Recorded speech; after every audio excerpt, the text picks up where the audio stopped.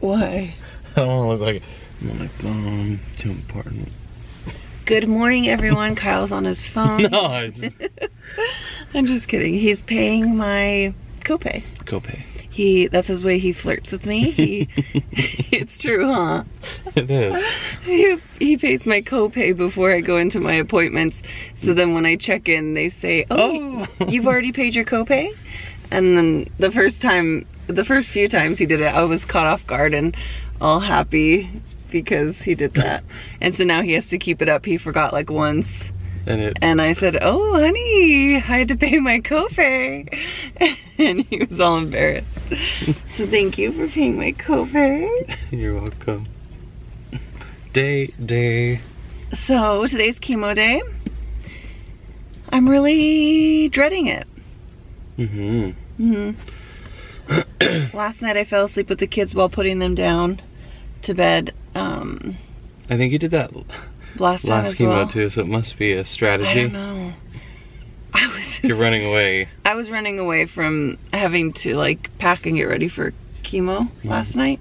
So then Kyle came in the room and got me because, you know, if I lay flat, I get pain. And so he came and got me. And I just didn't even talk. I just went, Went straight to went bed. straight to bed. And you had to get everything ready for chemo and clean the house. So thank you. I appreciate you. Of course. I'm a little nervous that I'm going to get denied chemo today because I have a weird thing going on with my hands. I don't know if you can tell. I took off one nail polish because they check my oxygen through this finger, so ever ever since they had now. issues that day, I take off one nail polish fin- or finger. Um, yeah, you can't really tell as much. It doesn't really show on camera, but my hands are kind of swollen, and they're really um, itchy. And then it's like particularly itchy on the knuckles. Um, two nights ago, I woke up in the middle of the night with the palms of my hands itching so badly and the bottom of my feet itching so badly. And it went away for the most part during the day, but my hands and feet were a little extra itchy. And then um, last night, or this morning, this morning I woke up at about 5 with my hands just burning and itching. But it wasn't the palms this time, it was the outside. And the skin just feels tight, feels like it's swelling. So I have to show my team and ask ask what they think. Hopefully they won't deny me chemo. I don't know if it's a reaction to something. I don't know what. I have this rash. It's like left over from last chemo. We tried to go without the steroid that is given to me on chemo day and the day after at home. We tried to skip it to see what would happen, and a rash came. So they said to that I need it. So there's that. The deeper I'm getting into all of these chemos, the more I'm dreading it. I don't know why. I get really sad and down. It's like my body and mind know what's to come, like that I'm gonna feel really sick. They know that that it sucks. It's been a long time. I don't know. Last my last chemo was my first one of this new regimen and it was definitely better than with carboplatin in the mix. I don't think I got a true test because the first night of chemo, after chemo, I pulled an all-nighter for River's birth. So I feel like it set me off to almost struggle a little more. Mhm. I think this time, hopefully, I can get a fair shot of seeing what this new regimen looks like, Yeah. the recovery. I think it's going to be better because it was already better. Um, but I'm hoping it'll be even better. We'll see. I don't want to go to chemo. I have to go to the room where he's not allowed again. That's where I'm scheduled. It's like the overflow room. Oh. You ready? I'm ready. You get to go to my other appointments with me. Yep. Like see the doctor. And Doctor and blood. Thank goodness. I don't want to go in. And we'll just pray that they don't deny you. And the And if- kids are, or our kids are with my dad. And what? Is he texting us? Oh no. Um. Just hope we don't get na- denied. Hope we can get this done. Yeah. And if we do get denied, then we'll go home. Whatever's meant to be will be. That's right. I had a dream about cancer. It's always a good time. I've been having nightmares since tapering on the steroids. Did I tell you guys I started tapering again? I started tapering on my steroids again, You did. and it's kicking my butt. I'm having fatigue, headaches, um, nightmares, fatigue, headache, nightmares, Itchy hands. No. itchy hands, apparently. There was something else I can't remember. Muscle aches and pains. Headaches. My body aches. But Fatigue. hopefully I get a taper again today. We'll see. Hopefully I get to taper again. A slow taper. We'll see.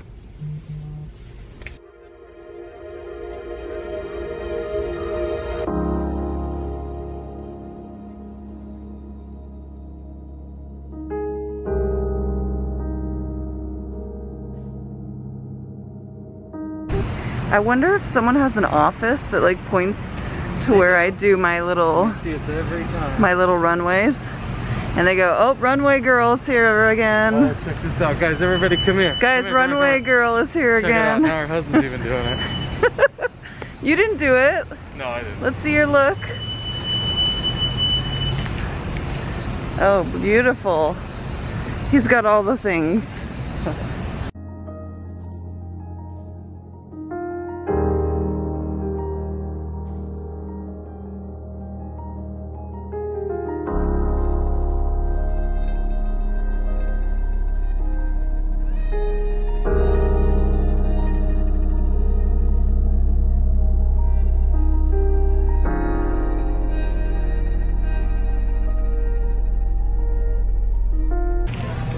When we were in the parking lot, we saw two dragonflies.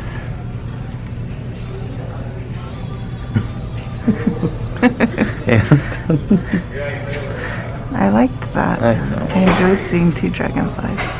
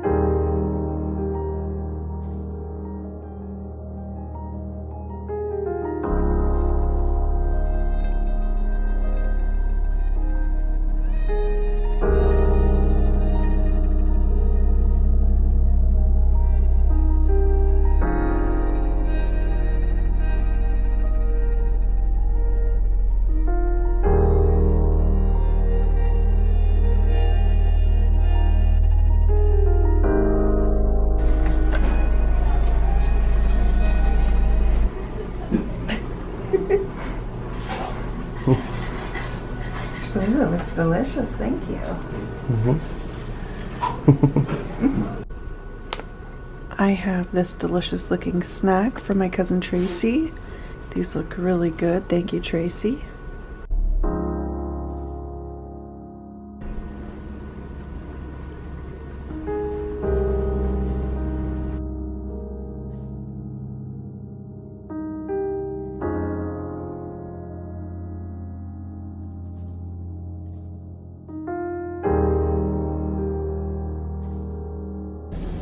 Hello, everyone. We are out of chemo.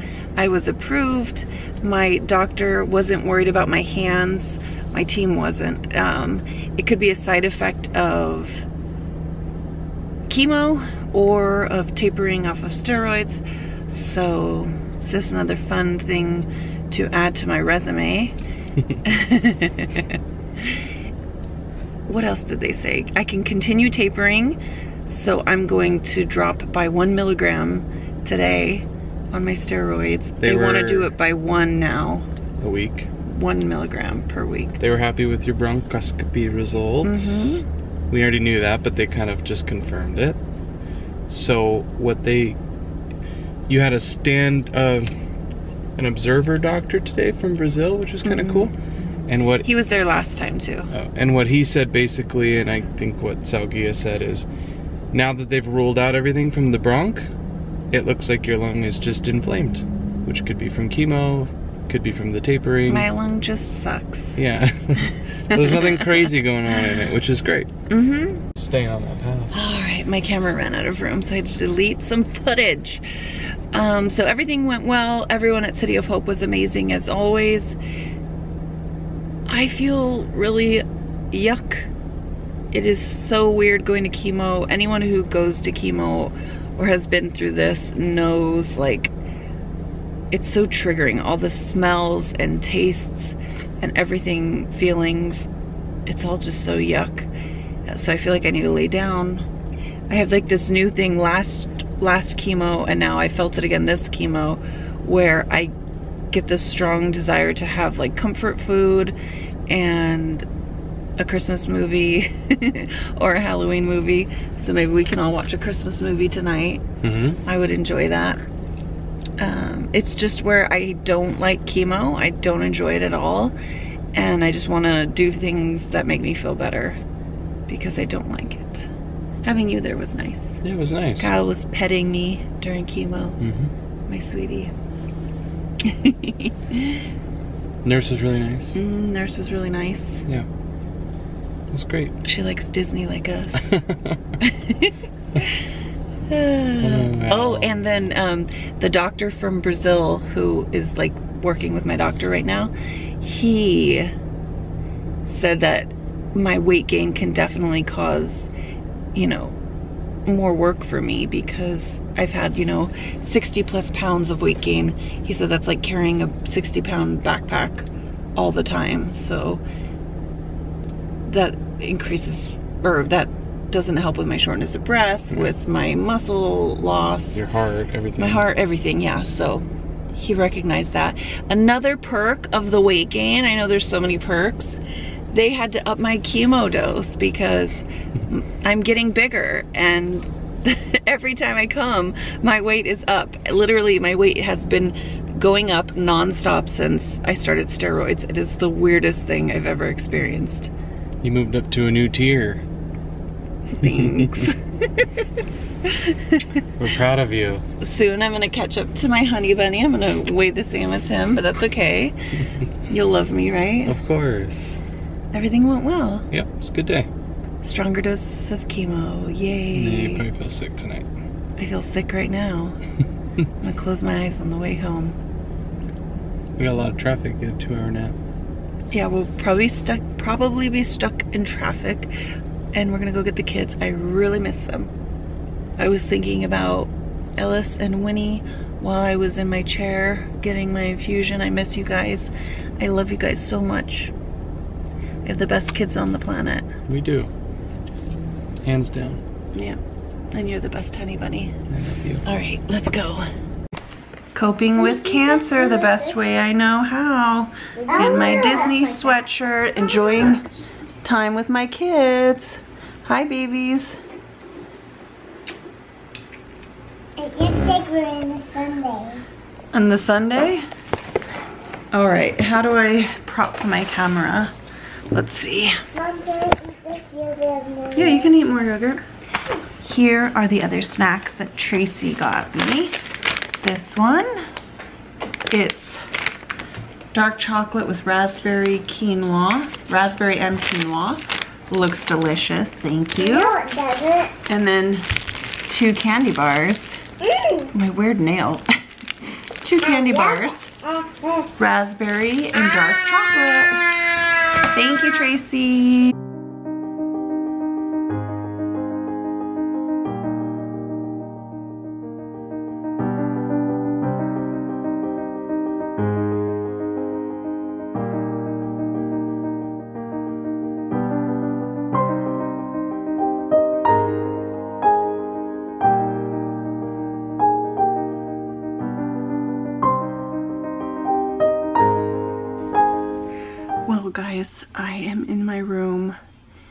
Hiding on the side of my bed, next to my oxygen tank and this oxygen thing, I don't even know what it's called. I am hiding because I'm sad and I don't want the kids to see me sad. I'm sad because I have stage 4 cancer and I don't want it. And I'm afraid that it's going to take me from my kids and my husband sooner than I would like. And I'm just sad about it and I'm scared.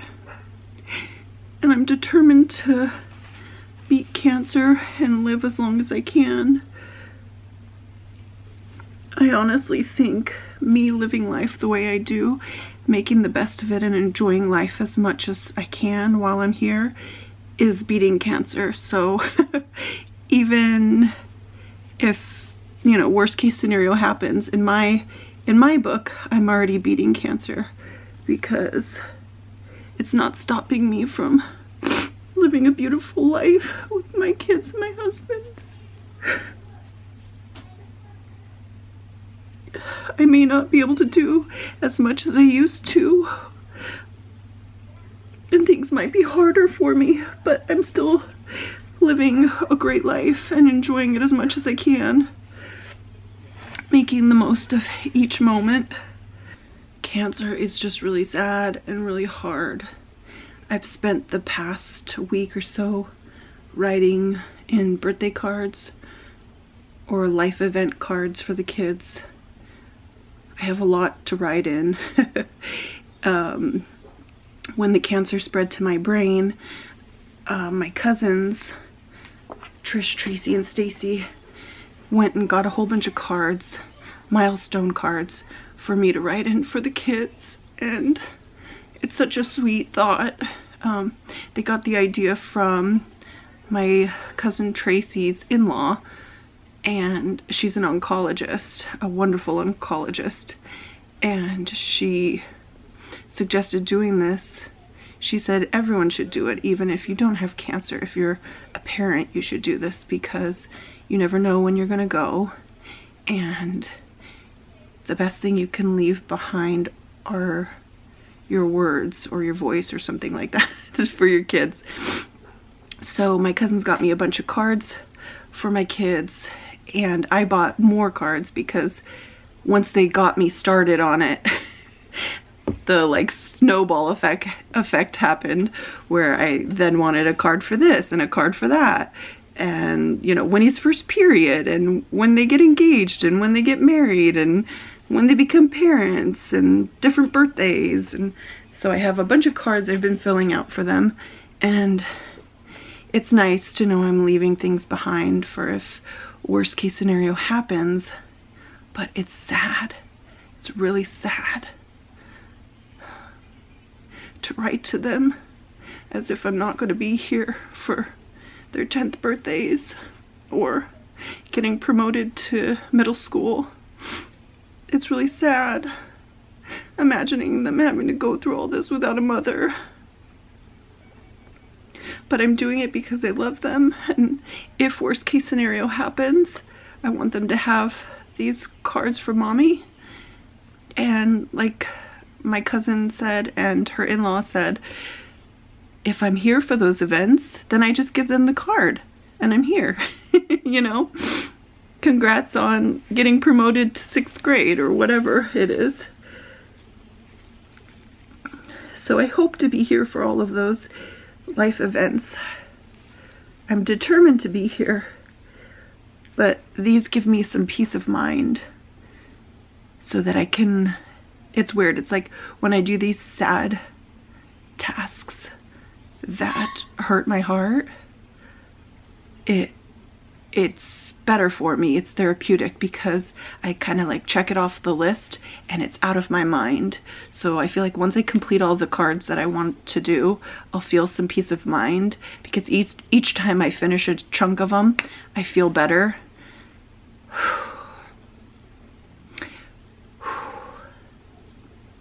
This is just really hard and sad. And so I'm hiding on the side of my bed crying. Oh, it's so hard.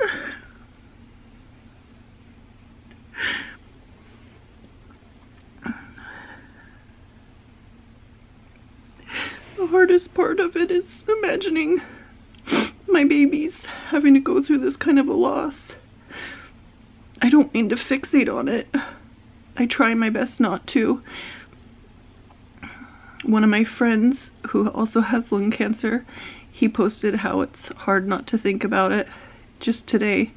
So I know I'm not alone in thinking about when I'm gonna go. I know people even with without cancer think about it. It's just really scary when I have cancer in my brain and my lung. It's just like it's just staring me in the face. I feel like I'm knocking on heaven's door. Not a good feeling. And I think um, I have a brain MRI this month in September to check on the status of the cancer in my brain. So that's getting thoughts going. I'm terrified for that. And the tapering of the prednisone makes me feel really anxious, like out of my control anxious, and it makes me feel really down and depressed. And so sad thoughts pop in my head and I get really scared. I'm trying my best to cope with it.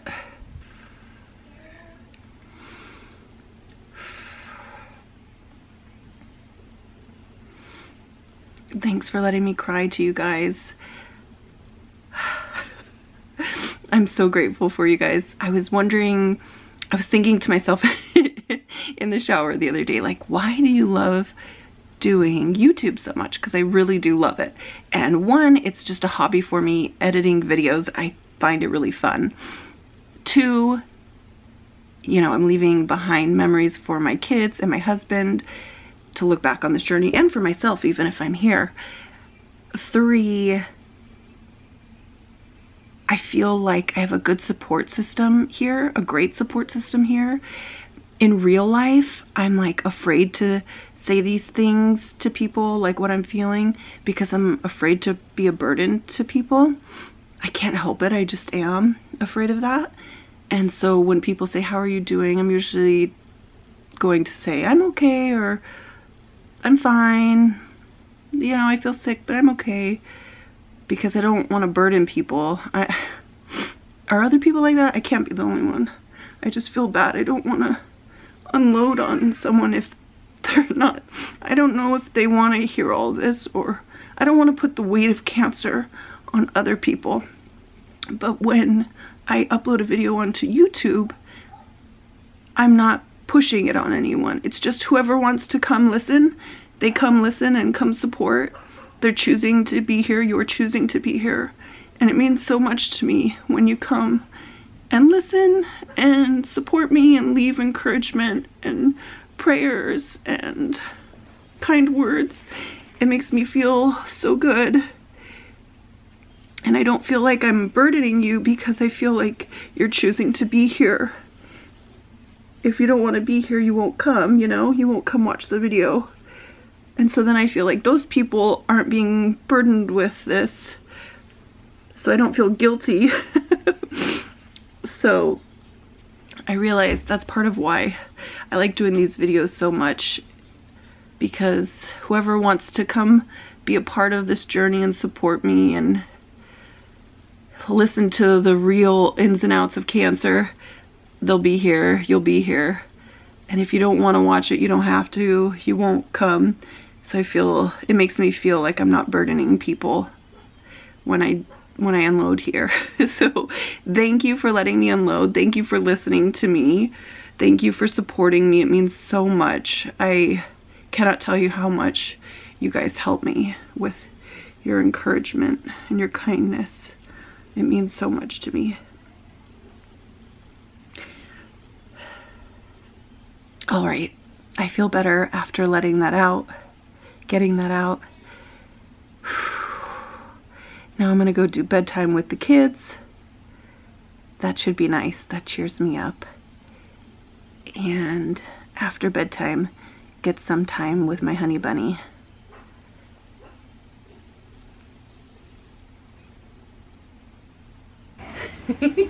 You're the The computer, it's at N10A.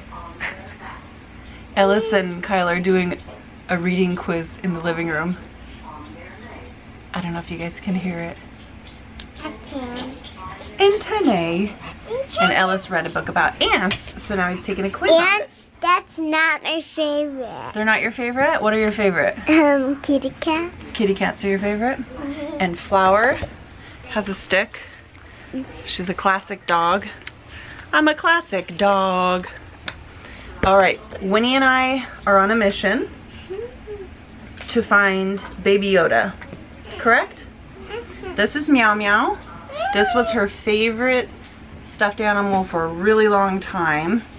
And she used to carry it everywhere. Do you remember Meow Meow? meow? Do you love Meow Meow? But now we're looking for Baby Yoda. She went to bed with it. And it's gone. So we're looking in her bed for Baby. Yoda. This is what Ellis and Winnie were reading last night when they were supposed to be sleeping. and Winnie cried when I said it was time to put it away. This is like their cheat book for staying up late. They'll, they, we have a few of these, 1,000 animals, 1,000 insects, different books, and um, they'll, they could sit and look at this for so long. They love these. But now we're finding Baby Yoda. Hi Shiloh, you want to come help us?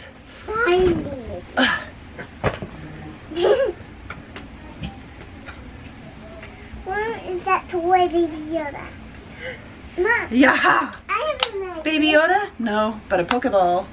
Yeah.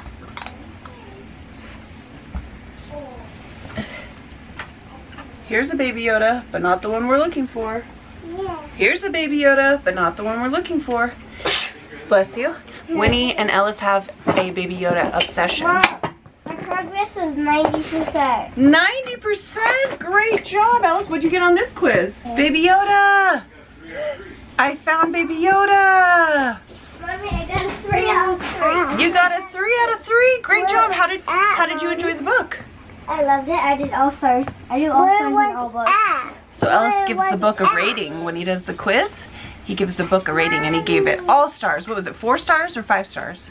I think it's four. Four stars? All right, we have a big selection of books to choose from. He's actually floating.